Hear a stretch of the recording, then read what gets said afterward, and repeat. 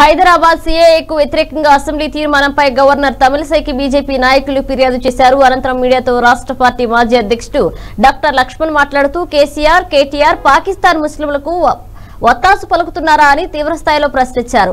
MIM మెప్పు కోసమే CAA వ్యతిరేక తీర్మానం చేశారన్నారు. అసెంబ్లీలో సీఎం కేసీఆర్ అబద్దాలు చెప్పారని విమర్శించారు. ప్రజలెవరూ ఎలాంటి పత్రాలు చూపించాల్సిన అవసరం లేదని ఉద్ఘాటించారు లక్ష్మణ్. కేంద్ర ప్రభుత్వమే ఇవాళ ఈ గణాంక వివరాలు సేకరిస్తుంది. కాబట్టి మీరు గతంలో సమగ్ర కుటుంబ సర్వే పేరు మీద చేస్తే ఒప్పు. ఇవాళ మోదీ ప్రభుత్వం దేశవ్యాప్తంగా చేపడితే తప్పంటే ఎక్కడ కూడా ఇవాళ మ్యాండేటరీ కాదు ఇవాళ.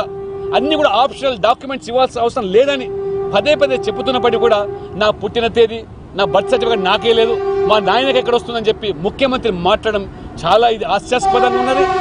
ఇవాళ మోదీ ప్రభుత్వం కానీ కేంద్ర ప్రభుత్వం కానీ ఎవరి కానీ మీరైనా ఆ రోజు ఈ తెలంగాణ పుట్టిన దానికి పంతొమ్మిది వందల యాభై ఆరు పూర్వం ఉన్నటువంటి దాఖలు ఇస్తే కానీ స్కాలర్షిప్ రాదని చెప్పిన మీరు ఇవాళ ఆ రోజు మరి ఇవాళ ఏ పాకిస్తాన్ ముస్లిం గురించి మీరు మాట్లాడుతున్నారో తెలంగాణ ప్రజలు గమనించాలి.